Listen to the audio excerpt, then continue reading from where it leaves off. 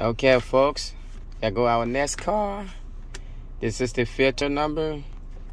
This car is a year 2014 Cadillac S X. So it's a 2014 Cadillac SRX. I'm going to try to leave the link in the description of the video so it can help people out. So 2014 Cadillac SRX. Yes, the filter number. And that's what we're gonna work on next. It's a nice car. Nice little SUV.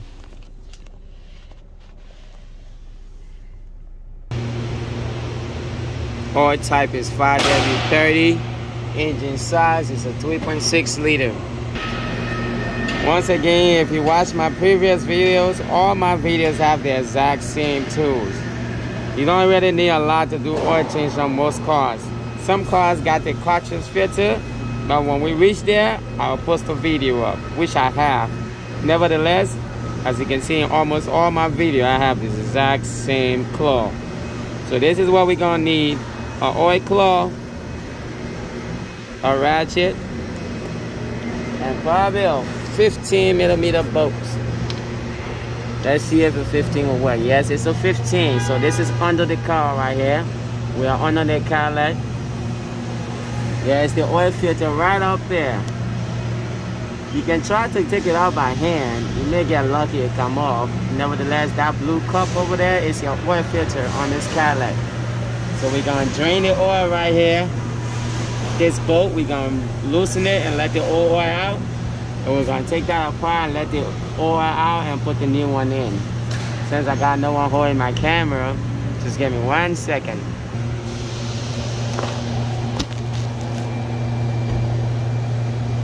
I'm not really sure if y'all can see what's going on, but I hope so.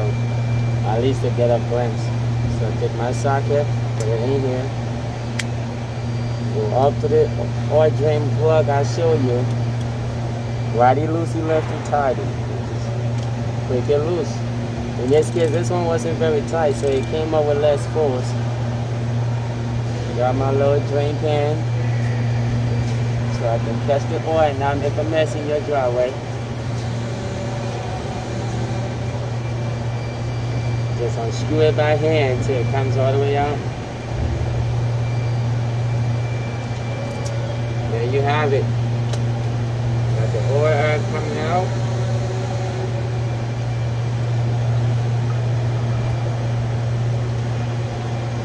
See if I can get that one by hand first before I use the claw.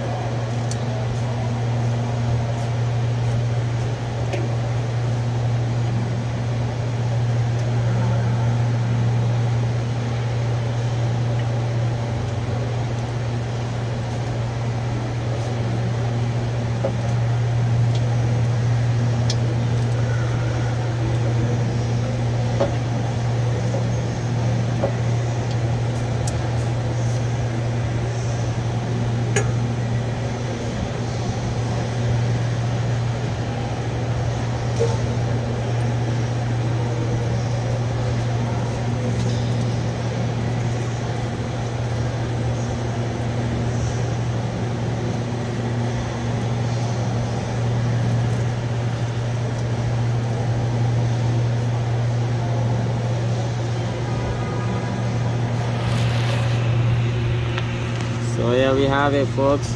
We got the dirty oil draining out the car right now.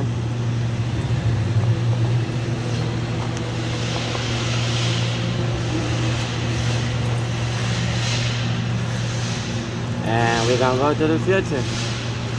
I'm gonna try by hand. Be careful, don't wanna do your oil change while it's hot because these exhausts be hot. Your converter over there is very hot. So in this case, I got lucky. It's not very tight on this car. Look at it. When I tried it with the claw, it just broke loose right away. It's not very tight, so it's gonna come out with no problem. Be careful, I don't wanna burn myself, so I'm gonna take my time. You can just use a shop towel or paper towel or whatever you have. Just wipe the excess oil from the engine. Otherwise, you're just gonna smell oil for a while until it burn off but no harm to the car. So In this case, we are lucky it's coming out.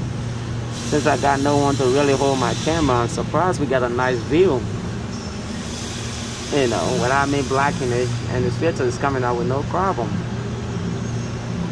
Once the filter come out, just, just try to slowly get it out of there if you can to catch as much oil as possible so you don't have to make a bigger mess like I did.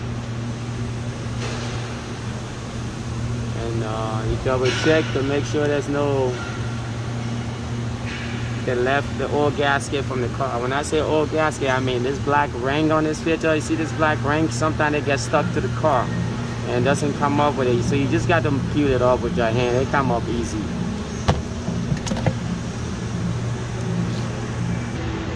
As you can see, I did a nice little wipe down. It still got a little bit of oil, but you can clean it up some more.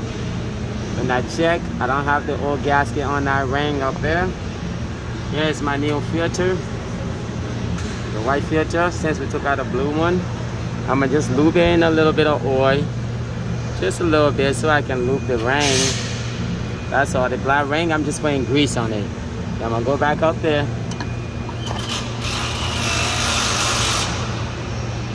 And you have to play with it. So the trick to these is to tilt it down downwards it catch.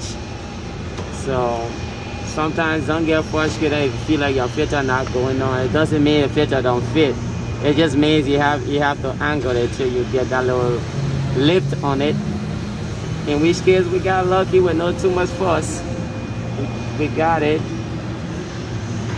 I got the car up a little too high You can also get this from the top if your arms are long. You don't really have to have no arm though, but you can also screw your filter on from the top.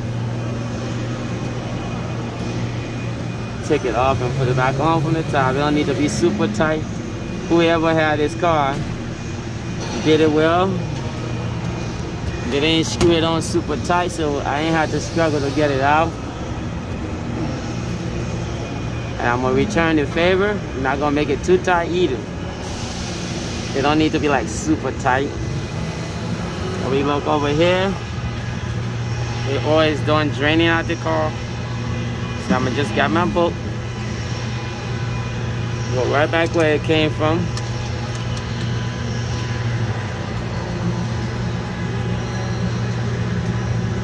And then screw in, snug.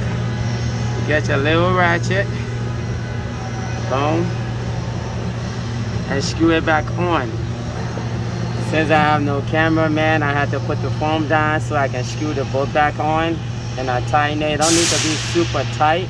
It just needs to be tight, you know, snug enough that you don't see no leak around it. And that's all. Okay, if you make it super tight, sometimes you go crack these span and you have bigger problems. So there you have it, folks. The oil change is done. All we gotta do is lower the car, put some oil in it, check it to make sure the oil is enough on the line. Start your car for three seconds, turn it back off, go back, double check your oil twice to make sure it's at the full line. Sometimes the oil goes low because of the filter. So you can just top it off or you can leave it. But just remember, you have a little less oil in your car and the oil change is done. Leave a comment on which vehicle you want me to do next. If I come across it, I will be sure to do it for you.